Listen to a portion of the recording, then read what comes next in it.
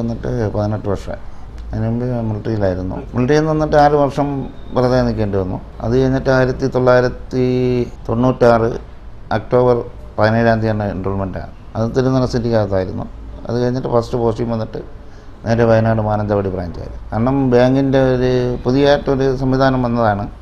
കാരണം ഓരോ മാസം തോറും ഓരോ ആൾക്കാരെ നല്ലൊരു ഗാർഡ്സിനെ സെലക്ട് ചെയ്തിട്ട് ഗാർഡ് ഓഫ് ദ മന്ത് കൊടുക്കുമായിരുന്നു അങ്ങനെ അതിൽ നിന്ന് തിരഞ്ഞെടുത്തിട്ട് ഒരാളിനെ വന്നിട്ട് ഗാർഡ് ഓഫ് ദി ഇയർ കൊടുക്കും. അങ്ങനെ ഈ നമ്മൾ രണ്ടായിരത്തി പതിനഞ്ച് ജനുവരിയിൽ എം ഡി നമ്മുടെ റിപ്പബ്ലിക് ദിനത്തിന്റെ അന്ന് എം ഡി തരുന്നതാണ് ഈ മെഡൽ ഗാർഡായിട്ട് വന്നതിന് ശേഷം കാരണം നമുക്ക് ഇപ്പം നമ്മൾ വെളിയിൽ ഒരു രീതി ഇതിനകത്തൊരു രീതിയാണ്.